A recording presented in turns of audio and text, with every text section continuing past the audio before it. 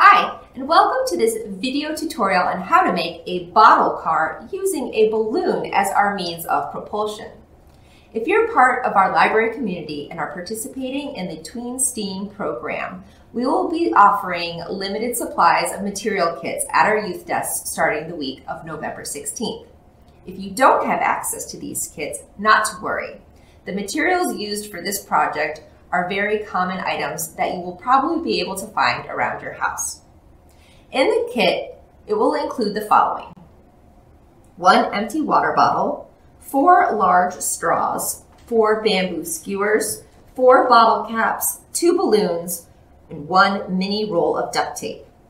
You will also need the use of scissors and possibly a flathead screwdriver to successfully complete this project. As you build, you'll notice that I've included some extra materials in case of missteps. And after putting this project together, I've discovered just how easily those can happen. So if you do happen to make a mistake, I encourage you to take a deep breath, move back a step or two, and try again. Okay, let's get to building. We're going to start by assembling our wheelbase using the bamboo skewers as axles and the bottle caps as wheels. An axle is a simple machine that helps to make work easier. The axle, the bamboo skewer, goes through the center of the wheels, the bottle caps, which helps to push heavy loads. In this case, the plastic bottles of our bottle car. For the wheelbase, you'll be needing the bamboo skewers, the bottle caps, a pair of scissors, and the duct tape that was provided. For the purposes of this demonstration, I'll be using this orange duct tape here.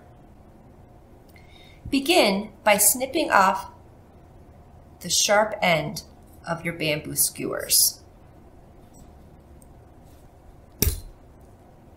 Cut yourself four thin, short strips of your duct tape. Take one of the pieces of your duct tape and place it on the end of your skewer, folding it over. You'll then take another piece of duct tape and wrap it around tight. You want to make sure that it doesn't go too far down the end of your skewer. Once you have that done, go ahead and do the same to the opposite side. When it's done, it'll look like this. Go ahead and do the same thing to another one of your skewers. When your two skewers have been prepared, go ahead and grab two of your bottle cap wheels.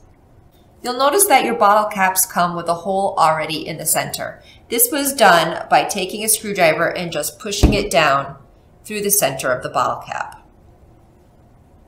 For right now, we're only going to attach one wheel to each of the axles. You do this by taking the bamboo skewer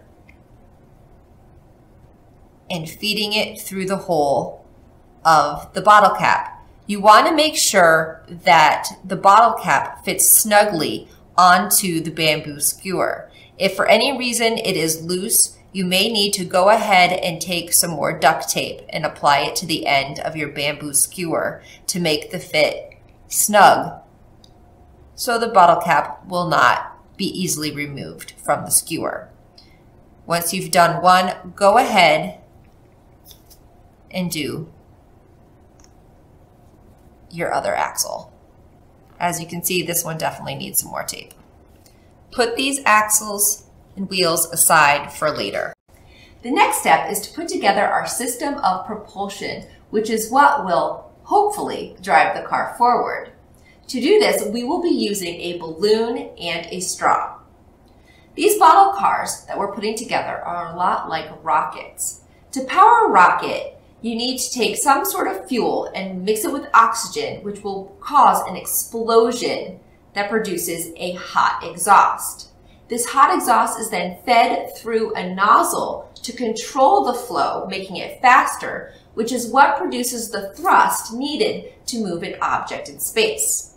In our case, our hot exhaust will be nothing more than our own hot air trapped inside the balloon, which will then be fed through the nozzle of the straw and hopefully produce enough thrust to propel our cars forward.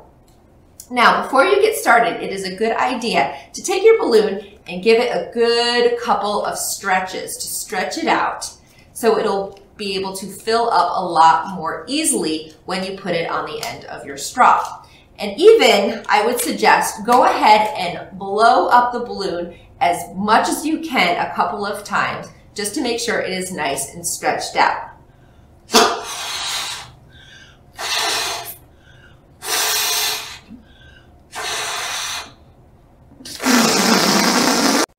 To assemble the propulsion system, you will be using the balloon, a straw, and duct tape. Once again, I will be using the orange duct tape. This part of the process is pretty simple. What you'll do is take the balloon and feed it over one of the ends of the straws, just a little bit. Don't go down too far.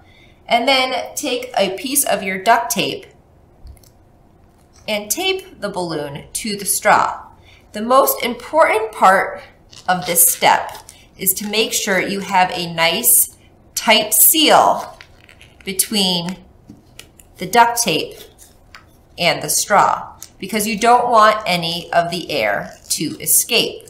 The best way to do this is do a first piece of duct tape, take a second piece, and then put it down a little bit lower and just make sure it is nice and tight to the straw. As you can see, I went ahead and added another piece of duct tape to the straw. Before you can count this step done, you're going to want to test out your propulsion system and make sure that no air is escaping from the balloon. To do that, go ahead and inflate your balloon. Once inflated, pinch the bottom of the balloon tight so no air can escape. And then listen to make sure there isn't a hiss of air coming out anywhere um, along the edge of the tape. And if everything sounds good, you're good to go. Once you have the propulsion system set and the wheels and axles halfway assembled, it's time to put it all together. To start, take one of your straws and cut it in half using a scissors. You don't have to worry about being exact because you can always trim it down later if you need to. Now, with your two straw halves, you will then be feeding them through the holes that have already been made in your plastic bottle. Now, these pre-drilled holes will not be big enough to fit the straws. So what you'll need to do is take your scissors and snip the holes four times all the way around just to make it a little bit bigger to accommodate the straws. Now we're gonna start with the back of the car. So the mouth of the bottle is actually the back of the car. And what you will do is take your handy screwdriver and one of the straw halves, and you can thread that onto the screwdriver and use the screwdriver to then feed the straw through the holes in your bottle. And once you have that done and back, you can go ahead and repeat the process for the front end of the car. This is what it will look like once both straws are threaded through the plastic bottle. Now the one hole that I didn't pre-drill for you is the top hole where the propulsion system will eventually be going. There's a couple ways that you can make this hole. Um, you can take your flathead screwdriver and poke a hole in the top where you want your propulsion system to go. You can, um, if need to, ask an adult to help you with a sharp instrument to start the hole um, and then use your screwdriver to make it bigger. And then again, use your scissors if you need to snip the holes to make it big enough for the straw to fit through. But before we get to that, we're going to put the axles through the straws and attach the wheels. So go ahead and take one of your half assembled axles and you're just going to thread it through the straw. Take another one of your bottle caps and then attach it to the end. Once all four wheels are attached, you're going to want to make sure that your car rolls freely. And if it does, you're ready to put on the propulsion system. To do this, all you need to do is to feed the straw through the hole that you made in the top of the bottle and make sure it feeds through the bottle opening. Now that you have a fully assembled car, the only thing left to do is to test it out. To do that, you're going to want to inflate the balloon as much as possible using the straw. And make sure you pinch the bottom of the balloon so the air can't escape until you're ready for it to.